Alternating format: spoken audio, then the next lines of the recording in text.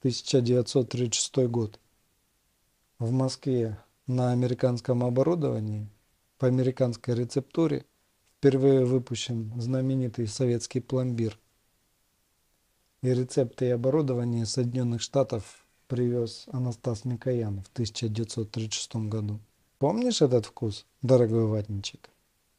Так вот даже этот вкус, он оказывается американский.